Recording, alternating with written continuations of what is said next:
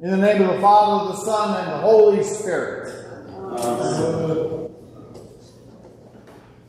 I've always been fascinated by languages. Perhaps it began when I was 12, studying Latin, French, English, and Russian. Then I moved to America and didn't take any of those. And when I had these Mexican gentlemen working for me in Arizona, I really blew it by not learning Spanish. They did teach me some Spanish, not the kind of Spanish you can talk about in church. and then later, I was working for Japanese for 12 or 13 years. I worked for two different Japanese corporations. And they too taught me bad words and in turn taught them bad words. So we got even.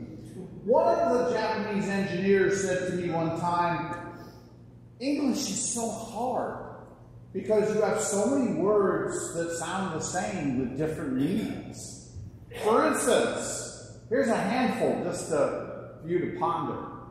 Mind, that has multiple meanings. Interest, date. Just think about that. Just think of date. You know, it's a time, a place, or it's a little thing that you eat. Engage, leave, novel, park, play. One of my favorites, hysterical. Could be really funny, or it could be somebody losing their mind. So when I sat down to write today's sermon based on today's gospel, three words came to my mind hospitality, generosity, and appreciation. All can be taken in different contexts. But I want to take each one individually in no particular order. But I will start with the one whose meaning in this case might be the most difficult to grasp and that is appreciation. Not the definition meaning grasping a fuller understanding of a situation or an investment that has increased in value over time. In this case, appreciation in relation to today's gospel has a completely different meaning. Webster's online dictionary describes appreciation in this sense as a feeling or an expression of admiration, approval, or gratitude, as in, I want to express my appreciation for all that you've done. Jesus is telling us that if we appreciate those who are working on his behalf to bring the kingdom of God into the hearts and minds of others, then we also appreciate him. So look at those who toil in the vineyard, each in our own way. Or to look at others as they do God's work is to appreciate them to approve of them, even admire them, while also being grateful for the work that they do. When we appreciate that someone else is doing God's work for his people, then we are appreciating them the same way that we appreciate Jesus for the great work that he did and continues to do for us. The next word is hospitality. I appreciate the hospitality. See what I did there? Which is the work that the people do here at St. Peter's, in particular on Saturdays, in feeding the poor and the needy. People come to partake in the fruits of the vine program, and in true Episcopalian fashion, they are fed. One can only hope that in addition to the physical sustenance they receive, that in some way they're also fed spiritual. This is a very It is the very definition of hospitality as it is lived out through the material actions of the church. The church should not only be a place of refuge and sanctuary, a safe haven for sojourners and those who need a refuge from the difficulties of life. The church should also be a place of welcome, of friendliness, and a place where the lonely can find solace and comfort. God's house here on earth which is the body of Christ, must be a place where life's troubles can be cast aside, even if it's only for a short time. That precious time spent worshiping God, which can feel like far too fleeting a moment, can actually be extended beyond Sunday morning through a greater faith in God and in his Son, Jesus Christ. Hospitality can be seen to be the receiving or bestowing upon others of well-intentioned treatment. As a noun, hospitality means the friendly and generous reception and entertainment of guests, visitors, or strangers. Synonyms of hospitality include friendliness, welcome, helpfulness, neighborliness, warmth, kindness, congeniality, and courtesy. No wonder English is so hard to learn. As an adjective, hospitality can be the relating to or denoting of the business of housing or entertaining visitors. Hospitality refers to the relationship between a guest and a host, wherein the host receives the guest with goodwill, and this includes the reception and entertainment of visitors or strangers. When I think of hospitality, I'm reminded of Hebrews 13 2 quite literally one of my favorite passages in the entire Bible. Do not neglect to show hospitality to strangers, for thereby some have entertained angels unawares. I frequently run into people who tell me they think they might have experienced this at some point, and that it really moved them into believing that it actually happened. It is likely that most of us have felt this occurrence, often finding ourselves unable to fully recognize the event until after it has happened.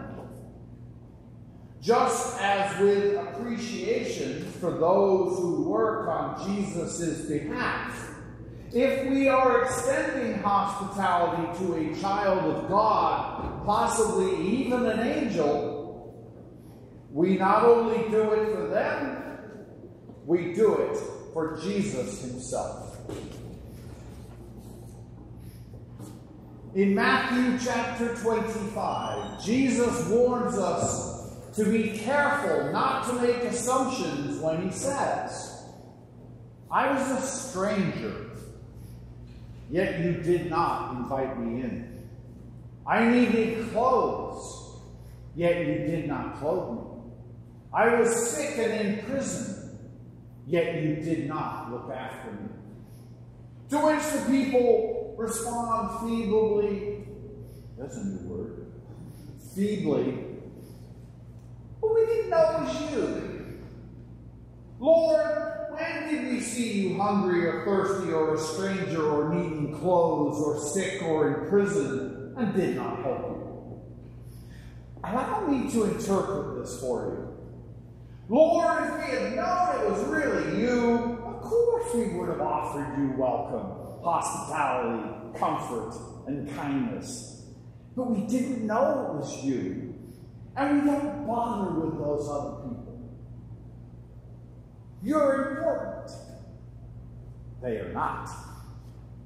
But this is simply not true. And it reminds me of a story.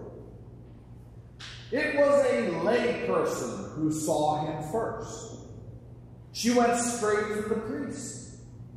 Father, he's right there in the pew. The priest went to see and immediately called the bishop to inform him. By now, everyone in the church knew. The bishop was beside himself and he didn't know what to do, so he called the archbishop. The bishop told the archbishop, He's right here one of our churches, Archbishop. Jesus is here right now. What should we do? The Archbishop went silent for a moment as he pondered the gravity of the situation, and then he replied, Look busy. it is human nature to act differently when the boss or someone of status or importance is there. The police call this the halo effect. When motorists pass a police car who has somebody pulled over at the side of the road, they drive by at exactly the speed limit. We've all done it. Not a single mile per hour like they've never broken the speed limit in their lives. And that's exactly what Jesus is telling us not to do today. No, he's not telling us to blow by at 80. Jesus is telling us that we have to treat everyone as though they are him. Because not only will you not know when it is really him, Whoever it is deserves to be treated as though they were him. Because how you treat them is exactly how you are treating Jesus. More from Matthew 25. Jesus said, I tell you the truth, when you refuse to help the least of these, my brothers and sisters, you are refusing to help me. The opposite should be true, must be true. Another synonym for hospitality is generosity. And I omitted this one earlier from the synonym list because I feel generosity deserves to be treated separately. Jesus says in John 12, 8, You will always have the poor amongst you. How we take care of the less fortunate members of the community is a direct measure of our faith, our willingness to do both what is right and what Jesus has commanded us to do. It is a measure of our generosity. If we are there to lend the helping hand of abundance to those who have far less than we, then we are offering our generosity to not only those who need and require it, but also to Jesus himself. He is telling us today that we should be kind, generous, and hospitable, even to a child. Why is that a big deal? Well, it's because a child has very little to give back. Our love for God is directly measured by how we treat others. Last week we learned that God knows exactly how many hairs are on our heads, and that there are a lot of us. Not only does God know everything there is to know about us, He knows just how we behave in regard to others. The welcoming and caring for others is a measure of our unselfishness. At the opening of the Eucharistic service, I'm always a little put off, a little nervous when I read the collect for purity. Almighty God, to you all hearts are open, all desires known, and from you no secrets are hid. No secrets. secrets, nothing is hidden. And this includes our actions towards others. What we do for others, we do for Jesus. And what we do for Jesus, we do for the one who sent him. Like the man said,